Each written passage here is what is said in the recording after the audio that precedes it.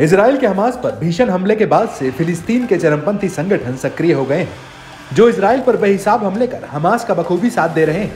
इन्हीं में से एक है इराक का इस्लामिक प्रतिरोध, जिसने इजरायली सैन्य बलों का जीना मुहाल कर दिया है। इसराइल का आरोप है कि इराक के इस आतंकी संगठन को ईरान का समर्थन हासिल है, जो हथियारों के दम पर इसराइल पर हमलावर है। इराक में इस्लामिक प्रतिरोध ने दावा किया है कि कब्जे पर फिलिस्तीन के अंदर हाइफा में एक महत्वपूर्ण लक्ष्य को निशाना बनाया।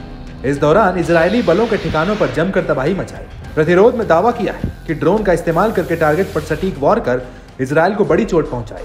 वहीं इजरायली कब्जे का विरोध करने के लिए ऑपरेशन के दूसरे फ़ेज़ में हमलों की नई सीरीज़ शुरू की गई, जहाँ एक एक कर बमों की बौछार कर इलाके में तनाव बढ़ा दिया गया। इसके अलावा इराक के इस्लामिक प्रतिरोध ने दुश्मनों के गढ़ों के विनाश को जारी रखने की अपनी प्रतिबद्धता पर ज़ोर दिया है। साथ ही गाजा में लोगों के साथ उनकी एकजुटता और उनके दृढ़ संकल्प की बात दोहराई है। साथ ही चेतावनी दी कि रक्षाहीन फिलिस्तीनी नागरिकों पर किए गए इजरायली नरसंहार के खिलाफ ये जवाबी कार्रवाई जारी रहेगी। प्रतिरोध ने एक वीडियो रिलीज़ कर दावा किया है कि कई ड्रोन दक्षिणी कब्जे वाले फिलिस्तीन में इलाट बस्ती की ओर बरसाए गए, जहाँ पर जमकर विनाश देखा गया। इस्लामिक प्रतिरोध के सैन्य मीडिया ने इसराइल को धमकाते हुए चेतावनी दी कि दहशत अभी खत्म नहीं हुई है और अभी बहुत कुछ है। साफ़ ज़ाहिर है कि हमास पर हमले से भड़के ईरान समर्थित चरमपंथी संगठन शांत होने वाले नहीं है। यही वजह है कि इसराइल एक साथ कई मोर्चों पर युद्ध के भवर में फंसा हुआ है। इस डगर में उसे कई भीतर भी चुनौतियों का सामना करना पड़ रहा है। ऐसे में इस्लामिक प्रतिरोध ने अपनी मंशा साफ़ कर दी है कि वो इसराइली आक्रामकता के बीच अपने खूखार अभियान को जारी रखेगा।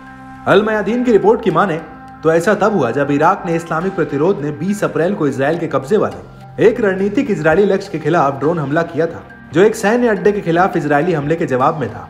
जहाँ एक पॉपुलर मोबिलाइजेशन फोर्सेस की एक टुकड़ी तैनात थी। इराकी प्रतिरोध ने शनिवार सुबह इलियड बंदरगाह के खिलाफ ऑपरेशन को अंजाम दिया। इसमें कहा गया कि इराकी संप्रभुता के उल्लंघन पीएमएफ के खिलाफ आक्रामकता और इजरायली नरसंहार के खिलाफ गाजा के समर्थन में था। बता दें कि इसराइल हमास युद्ध की शुरुआत से ही इराक का इस्लामिक प्रतिरोध लगातार नेतन्याहू के लिए गले की फांस बना हुआ है।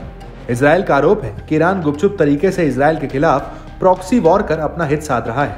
हालाँकि नेतन्याहू ने भी साफ़ किया है कि इसराइल ऐसे हमलों से डरेगा नहीं, बल्कि भीषण पलटवार करता रहेगा। ऐसे में, हालिया हमले से अरब जगत में तनाव और बढ़ने की आशंका जताई गई है।